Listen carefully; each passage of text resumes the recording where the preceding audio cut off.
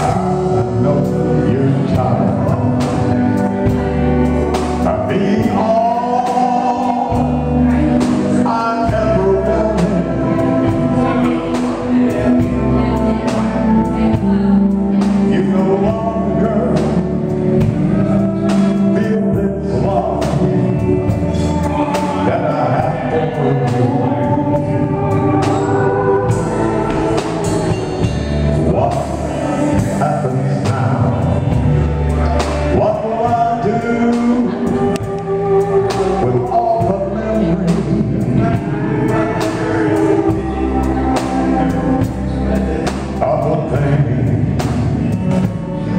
that you and I will never do?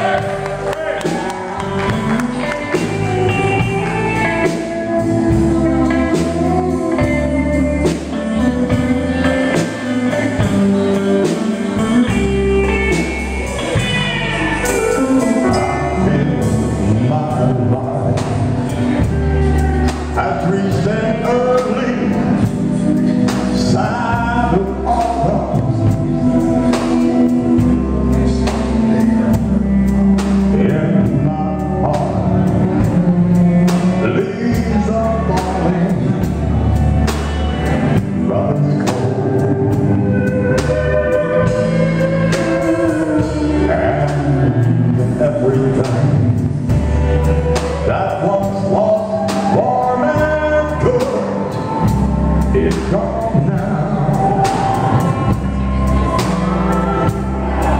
Leaving nothing